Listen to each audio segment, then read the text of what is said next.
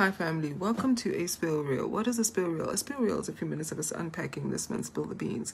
In this month's Spill the Beans, we heard the Lord give us Isaiah 60, verse 2, which says, You know, the darkness covers the earth, the darkness is over the people, but the Lord rises upon you.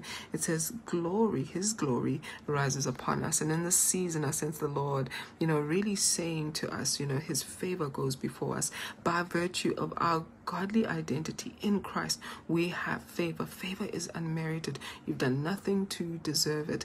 The favor of the Lord will go before you in the season. May that favor place your name in rooms that you do not expect.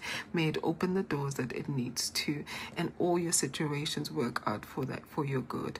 That outworking is because God favors you. That outworking is because Christ has already done the work for us.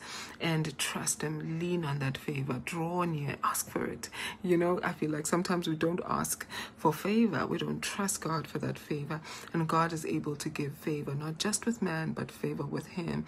You know, in the season, that is what God is doing. Let me know if this is for you and pass it on to somebody who who needs it. I also want you to stand in hope, you know, um, and speak life over your situations.